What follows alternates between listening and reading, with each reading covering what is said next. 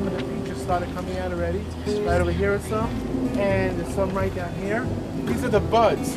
These little pink things are the buds, the beginning of the peaches. The ones in the black, I'm not sure if these are going to grow or not. There's some on the floor. In the month of Nisan, Chodesh Nisan, is when we make the bracha on fruit trees when they bud only in the month of Nisan. Today's Chav Ches Nisan, 28th of Nisan, so there are two more days left. Please turn to page 110, line 7. Once every spring, say this bracha when you see your fruit trees in full bloom. One, two, three. Baruch atah Adonai Eloheinu melech haolam. Shalom chisar be'olam odava.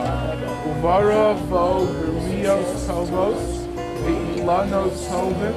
Lahanos lahem The bracha is at the point of the lahem Hashem wants us to have pleasure, to enjoy them. Use them for shade, for fruit, and also a big bracha is it's pretty to look at. The Gemara says a blind person doesn't enjoy it as much.